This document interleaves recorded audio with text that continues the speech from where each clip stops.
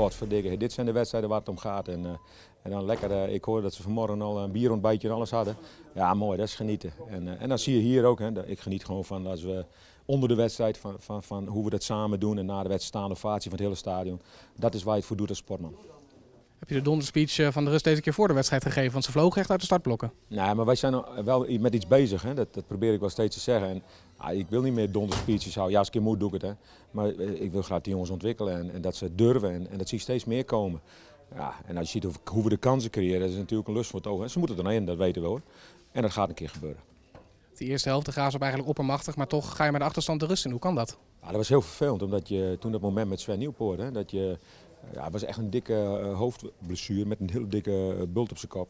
Dus die moest eruit. Hè. En, en ik had liever gehad dat hij even twee minuten doorgegaan. Maar de, de, de dok had gelijk hoor, hij moest eruit. Maar ja, dan staat alles even uit het lood. En, en uh, nou, dan krijg je een doelpunt tegen. Dat was, dat was heel lastig. Maar we zijn mooi rustig gebleven. Dus, dus ik denk dat het uh, gelijke spel gewoon... Kijk, we hadden de wedstrijd moeten winnen, laten we eerlijk zijn. Maar ik kan wel met gelijk spel leven, omdat... Toen moesten we eigenlijk drie verdedigers moesten we wisselen. Ja, dan laat je jongens die normaal uitwisselt veranderen. Om, om voorin meer druk te krijgen, om, om meer spel voor de goal te krijgen. Die moesten blijven spelen. Ja, dat, dat was niet ten goede van de wedstrijd. Was dit uiteindelijk dan het hoogst haalbare? Nee, natuurlijk niet. Jasper, we gaan door. We zijn net begonnen hè, en, en we moeten nog beter. Maar het zal ook wel weer eens wat minder gaan. Maar als we het straks één keer voor elkaar hebben, dan, dan gaan we prachtige wedstrijden spelen.